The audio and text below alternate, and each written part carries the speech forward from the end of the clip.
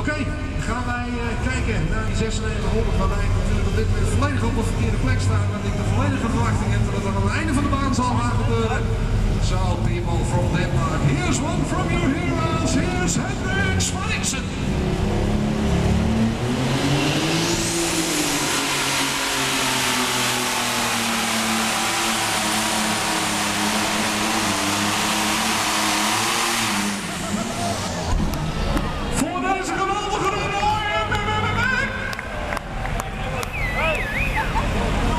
special.